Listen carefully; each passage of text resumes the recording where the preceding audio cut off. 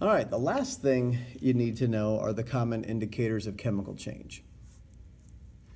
You have to understand that any of these things that are happening spontaneously tell you that a chemical reaction is occurring. There can be a spontaneous change in color. And again, it's spontaneous. It's not that I'm talking about taking a can of red paint and painting a wall. That's not a chemical reaction. That's not a chemical change. I'm putting the new paint on the wall. I'm changing its color. I'm talking about things that change color on their own, like the leaves changing in the fall.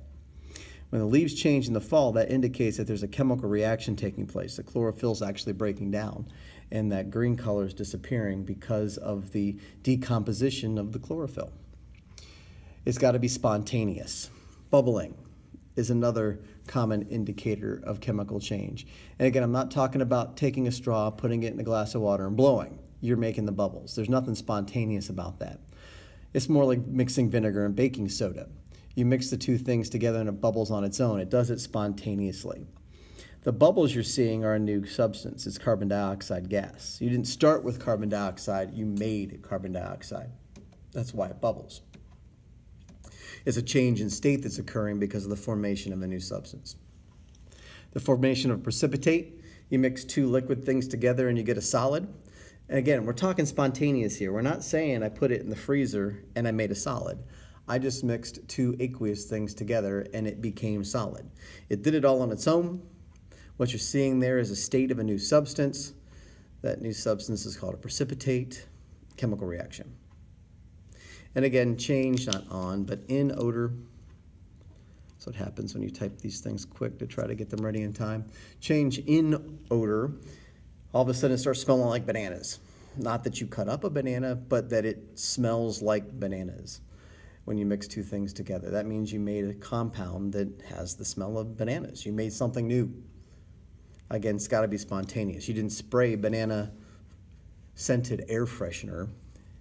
You just mixed two things together that did not smell like bananas, and all of a sudden, it smells like bananas. This is a, an odd one, and oftentimes I don't even mention it because you, should, you really shouldn't be smelling chemicals.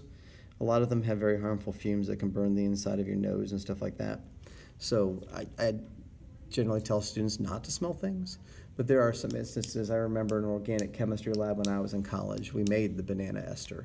So one of the ways to know that your experiment went correctly was to smell it and make sure it smelled like bananas. Last one is change in temperature. Every chemical reaction involves some kind of change in energy, either an increase or decrease in energy. Uh, that correlates to either an increase or decrease in temperature. Whenever a reaction produces a lot of excess energy, it causes the temperature to go up. We call that exothermic. And whenever a reaction soaks up energy like a sponge, we see a decrease in temperature. We call that endothermic. These spontaneous changes in temperature. And again, I'm not talking about putting in a microwave. If you put something in a microwave and, and push start, you're just heating it up. You're just making the water molecules vibrate faster. There's nothing chemical about that.